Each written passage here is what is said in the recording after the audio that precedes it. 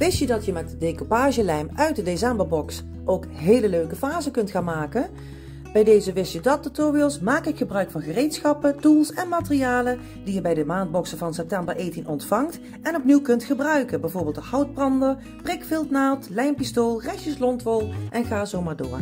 Mijn naam is Debbie van Like It Like Deb en in deze tutorial laat ik drie technieken zien hoe je zelf thuis dus hele leuke vazen kunt maken. We gaan beginnen met de eerste techniek. Pak een vaas erbij, ontvet hem heel goed. Ik heb hem met dreft afgewassen en daarna met glasseks even goed schoongemaakt. Nou, we gaan de decoupage gebruiken uit de decemberbox. Even schaar toevoegen. Het kwastje kun je gebruiken. En ik heb dus voor deze techniek leuk cadeaupapier of kerstpapier gebruikt van de Action.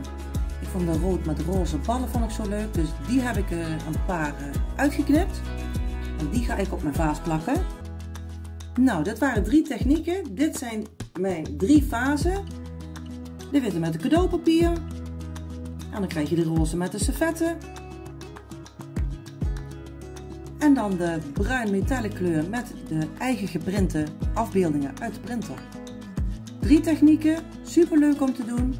Ik ben heel benieuwd wat jij ervan gaat maken als je ze gaat maken. Heel veel succes!